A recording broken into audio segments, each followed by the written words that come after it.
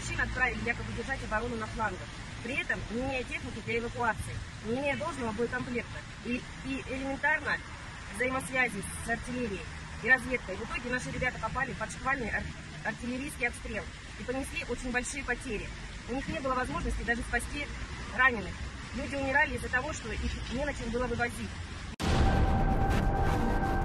России не хватает госпиталей, раненые не то что не успевают лечиться, их не успевают считать, а там, где хватает госпиталей, не хватает лекарств и докторов. Какие еще нужны доказательства потерь, почему Россия скрывает эти цифры и почему в Большой Федерации могут закончиться доктора? Давайте разберемся. В этом видео будет мало картинок, потому что такие картинки не позволяет показывать YouTube. Всплеск количества раненых в российских прифронтовых госпиталях наблюдался во время Бахмутской операции. Сейчас, как пишет британская разведка, их стало еще больше. Но как их посчитать? Да и зачем? Им же не надо отправлять оцинкованную ладу или не надо сообщать родным вообще. А в госпитале как-то потеряется, да или сам разберется. Тут еще один важный момент. Авторы расследования в The Insider пишут, что активизация пропаганды и рекламы военной службы в России совпадают с увеличением количества потерь. Мы видели мясные штурмы, я в них участвовал, Юрьевич тоже участвовал как начмет. Э, Что это такое? Это когда 40-50 человек собранных идут на превосходящие силы противника, закопанные в землю по полю метров 600. И мы понесли тяжелые потери, и это очень было все больно на это смотреть. В этих мясных штурмах погибают люди, а командующий, значит, этим штурмом сидит и в, в радионяню говорит «Вперед, вперед, вперед, вперед». Издание Insider пишет о четырех уровнях российских госпиталей, в зависимости от тяжести ранения или от статуса раненого. Но с течением времени вся эта градация как-то стерлась, теперь просто никуда не попасть. И вырисовывается странная зависимость. Ранения огнестрельные, в том числе и головы, которые требуют очень серьезной помощи нейрохирургов. И, и такого рода ранения боевые, они э, совпадают с увеличением э, агитации на прием на контрактную службу.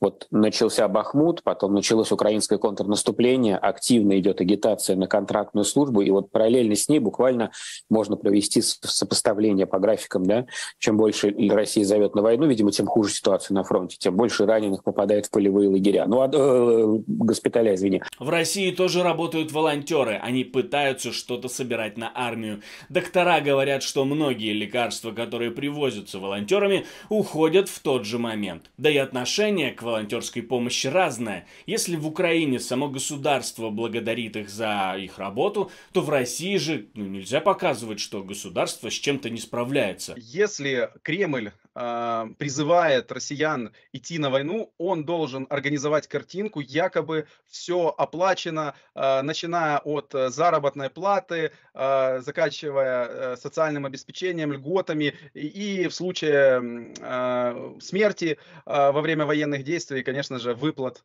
а, компенсации семьям погибших.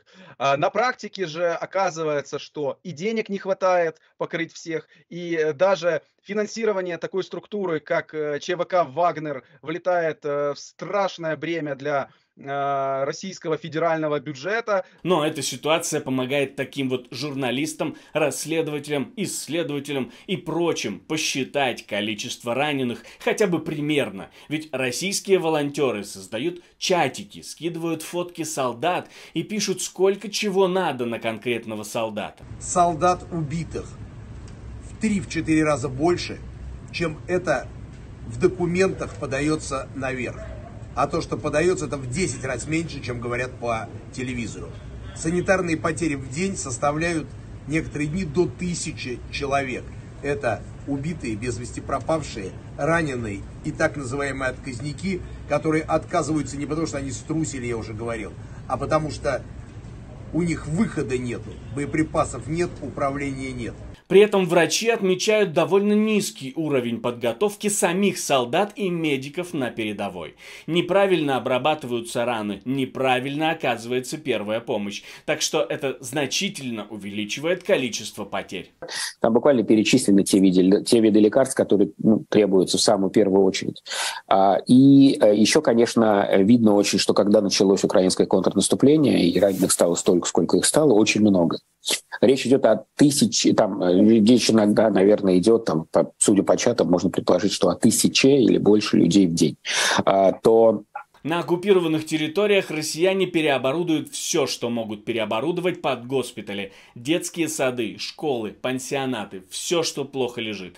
И это отдается более масштабным эхом, ведь теперь врачей не хватает в регионах, особенно при фронтовых, потому что на передовой увеличивается количество полевых госпиталей. Сразу видно, россияне не были готовы к такому, и даже через год после начала открытого наступления не удалось удается выстроить нормальную сеть. Да, в принципе, они готовились, они формировали э, полевые госпитали на определенное количество э, принимаемых э, ежесуточно раненых, но опять-таки э, эти объемы ограничены. Э, у России нет достаточного количества э, современных высокотехничных, высокотехнологичных э, полевых госпиталей, которые бы обеспечивали э, весь комплекс лечения а, всех типов а, раненых, поэтому часть из них приходится эвакуировать в лечебное учреждение городского типа.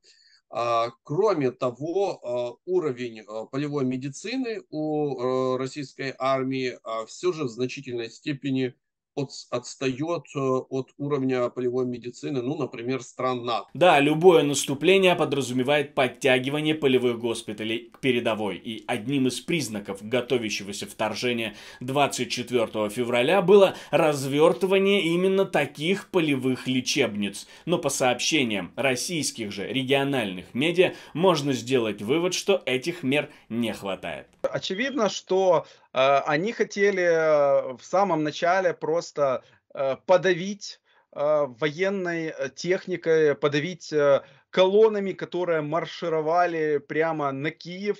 Э, мы помним э, вот эти вскрытые гаражи с парадной формой для российских военнослужащих под Киевом.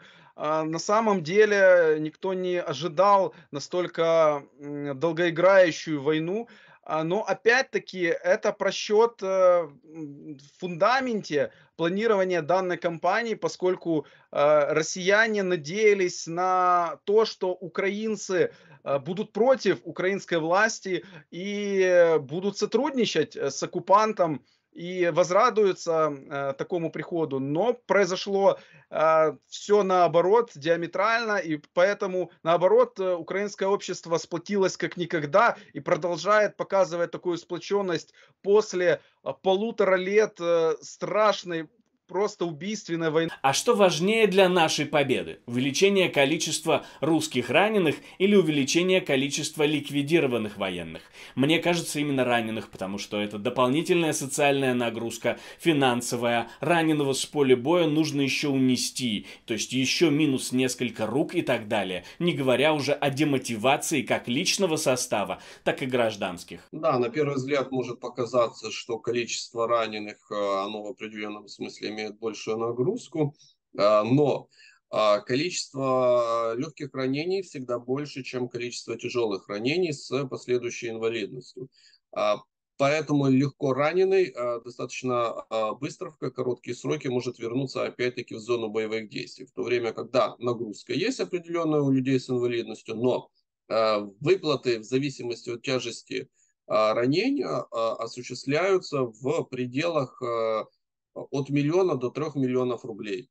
А, в свою очередь выплаты а, за а, ликвидированного, за двухсотого оккупанта стартуют от 7 миллионов в зависимости от его звания. То есть генерал, если я не ошибаюсь, там что-то вообще около 14 миллионов идет выплата. Поэтому единовременная нагрузка на бюджет посредством роста количества уничтоженных оккупантов – это тоже эффект, причем единовременный и очень быстрый.